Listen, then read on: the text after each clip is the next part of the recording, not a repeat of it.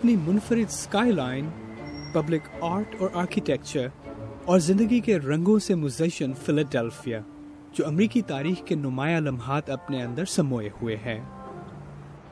بات Benjamin Franklin کی ہو یا امریکی جنگ آزادی کی فلڈیلفیا کا ذکر کیے بغیر گفتگو پوری نہیں ہوتی۔ فلڈیلفیا امریکی تاریخ کے ایک ایسے باب کا گھر بھی ہے جس کا ذکر عام طور پر نہیں ہوتا۔ اور وہ ہے امریکہ کا کرکٹ سے تاریخی رشتہ۔ اور تاریخ کے اس موڑ کا پتہ ملتا ہے فلاڈیلفیا کے ہیور فرڈ کالج میں قائم سی سی مورس کرکٹ لائبریری میں۔ پول ہینسلی کرکٹ لائبریری کے پریزیڈنٹ ہیں اور آج اس سفر میں میرے مددگار بھی۔ سی سی مورس کرکٹ لائبریری میں خوش آمدید۔ اندر داخل ہوتے ہی جس چیز پر آپ کی نظر جاتی ہے وہ مشہور برطانوی کرکٹر ڈاکٹر گریس کا مجسمہ ہے۔ یہ تصویر مشہور امریکی فوٹوگرافر میتھیو بریڈی نے امریکی سول وار کے اوائل میں کھینچی تھی جس سے امریکہ میں کرکٹ کی شروعات کا پتہ چلتا ہے۔ یہ تصویر جینٹل مین آف فیلڈلفیا کی ہے جو علاقے کی تمام ٹیموں کے بہترین کھلاڑیوں کو جمع کرتے تھے اور پھر ان کھلاڑیوں کو کھیلنے کے لیے برطانیہ بھیجا کرتے تھے اور ایسا تقریباً ہر گرمیوں میں ہوتا تھا۔ Gentlemen of Philadelphia first class team تھی۔ یہ تجربہ کار کھلاڑی تھے جو برطانیہ سے امریکہ آنے والی ٹیموں سے بھی میچ کھیلتے تھے۔ آسٹریلیا کی ٹیسٹ الیون ٹیم بھی برطانیہ میں ٹور کے بعد امریکہ آئی۔ یہ حضرات اس شہر میں کرکٹ کے بہترین دور کی نمائندگی کرتے تھے۔ زبردست کھلاڑی اور بہترین team. And they represented the city in, in its finest glory of cricket. Here's, here's four members of the Newhall family. یہ ہیں نیو ہال فیملی کے چار حضرات۔ یہ واحد فیملی تھی جس میں کھلاڑیوں کی تعداد پوری ٹیم کے برابر تھی اور وہ دنیا کی کسی بھی ٹیم کو ہرا سکتے تھے۔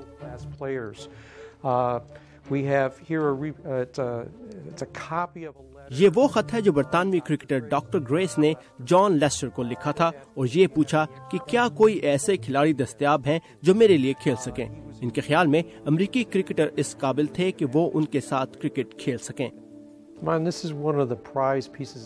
امان اس آئٹم پر ہمیں ناز ہے۔ یہ بلہ ہمیں معروف آسٹریلوی بلے باز ڈان بریڈ مین نے بھیجا تھا جو ٹیسٹ میچوں میں بہترین اوسط سکور کے لیے مشہور ہیں۔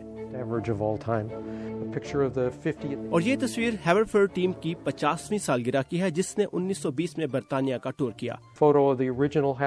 یہ اصل ہیلی فیکس کپ کی تصویر ہے۔ امریکہ بامقابلہ کینیڈا دنیا کا پہلا بین الاقوامی میچ تھا اور یہ وہ کپ ہے جس کے لیے یہ ٹیمیں کھیل رہی تھیں۔ تو امریکہ کی کرکٹ کی دنیا سے اس تاریخی وابستگی کے بارے میں لوگ امریکہ میں اور باہر کیوں نہیں جانتے؟ یہ بہت اچھا سوال ہے۔ مسئلہ یہ ہے کہ اس وقت ہمارے پاس ایسا نظام موجود نہیں ہے جس کے ذریعے نوجوان کرکٹرز بھرتی ہو کر فرسٹ کلاس کرکٹ کی جانب بڑھ سکیں اور آپ کو تجربہ کار کھلاڑی بننے کے لیے بین الاقوامی میچز کھیلنے دوسرے ممالک جانا پڑتا ہے اور اس میں کئی سال لگتے ہیں۔ ہم نے شروع میں بات کی تھی کہ اٹھارہ سو اسی، اٹھارہ سو نوے اور بیسویں صدی کے اوائل میں ایسا ہوا کرتا تھا۔ لیکن اب ہم یہ نہیں کر رہے اور نتیجہ ہمارے پاس بین الاقوامی تجربہ نہیں ہے اور آپ اعلیٰ درجے کی کرکٹ اس وقت تک نہیں کھیل سکتے جب تک آپ کے پاس یہ تجربہ نہ ہو۔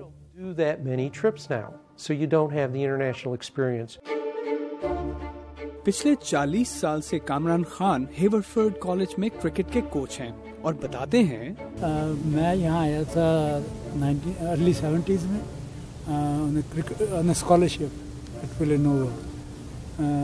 وہاں سے میں نے ایم اے کیا اور اس کے ساتھ ساتھ یہاں میں نے کوچنگ شروع کر دی۔ میں انفارچونیٹلی میں نے کیم ہیئر کرکٹ اتنی پاپولر نہیں تھی، تو اچھے ایتھلیٹ ملنے بڑے مشکل تھے۔ لیکن ڈورنگ دس ٹائم کرکٹ کافی پاپولر ہو گئی کالج میں اور پھر بہت اچھے ایتھلیٹس نے ہمیں جوائن کیا۔ ہم نے دو ٹور کیے انگلینڈ کے اور اسکاٹلینڈ کے اینڈ ہم انڈیفیٹڈ تھے۔ So that is that was a great achievement یہ تو ہوا امریکہ میں کرکٹ کا ماضی اور اسپورٹ کا حال اور مستقبل دیکھنے کا اتفاق بھی فلڈیلفیا ہی میں ہوا۔ یہ ہے وہ نوجوان جنہیں ہم نے فلیڈیلفیا سے کچھ دور ایک انڈور کمپلیکس میں محفل پریکٹس پایا۔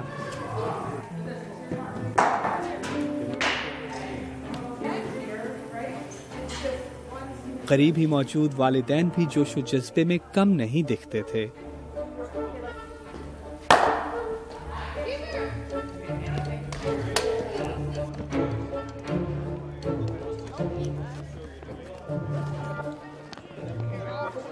سنیل ان نوجوان کھلاڑیوں میں کرکٹ سے لگاؤ پیدا کرنے کی کوششوں کا حصہ ہیں۔ فیوچر تو بہت اچھا ہے سب ان کا سب ڈپینڈ کرتا ہے ان لوگ کتنا محنت کر رہے ہیں۔ ہم۔ تو ان کو ڈائریکشن ہی دے سکتے ہیں۔ محنت تو ان کے اوپر ہے۔ بٹ ابھی آئی سی سی بھی کافی انٹرسٹ لینا شروع کیا یہ ریجن میں تو ڈیفینیٹلی یہ بہت بہت جلدی اور بہت ترقی کرے گا۔ ان نوجوانوں کے کرکٹ سے لگاؤ کو دیکھ کر یہ امید ہوئی کہ امریکہ میں کرکٹ کا مستقبل اپنے ماضی کی جانب لوٹنے کا یقیناً متحمل ہو سکتا ہے۔